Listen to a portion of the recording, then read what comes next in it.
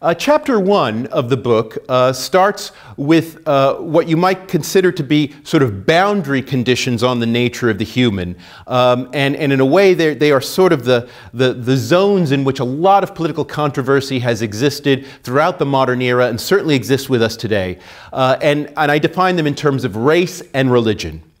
Um, on the one hand, the issue of race, which is very closely associated with the biological nature of humanity, has to do with the possibility that the idea that some sense all of humanity is unified under some sort of concept or idea is, in a sense, purely theological. In other words, there is no naturalistic basis for it, and that basically uh, races are sort of subspecies in the making. Uh, now, this view, in fact, has had a strong kind of undercurrent, and in fact, it was the reason why James D. Watson, one of the discoverers of the, of the double helix structure of DNA, was in fact kicked out of this country, at Britain, uh, two or three years ago when he was promoting a book and said during the book tour that, in fact, development aid was a waste of money on African people because they weren't intelligent enough to use it wisely.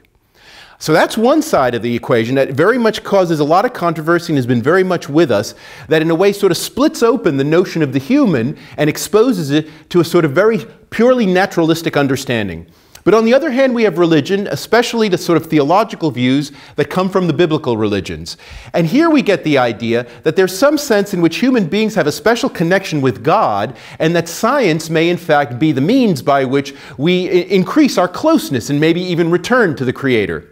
And the most recent expression of this kind of viewpoint, which again is very strong in Western intellectual history, has been intelligent design theory, which is a, a sort of form of scientific creationism, you may call it, uh, that basically says that the very fact that we can make sense of the world, the fact that it appears intelligible and rational to us, and we're able to succeed in making sense of nature in that mode, indicates the extent to which there is a grand intelligence from whom we descend behind it. And of course, that has caused an enormous amount of controversy, increasingly so around the world. Um, now, behind these two sorts of controversies, the racial and the religion one, is the issue of what exactly are the boundaries of our humanity. And the way that I pursue this for most of the chapter, chapter one, has to do with, in fact, the way in which the discipline of sociology, which again sort of presents itself as being the caretaker of this concept of humanity, uh, how it arose in the British context, where there's a very interesting story to be told. Uh, mainly because, in fact, Britain is the country where the biological sciences are most strongly developed, and of course, Charles Darwin being the obvious case in point, and where there was a very strong push to have a very biological understanding of sociology in its founding.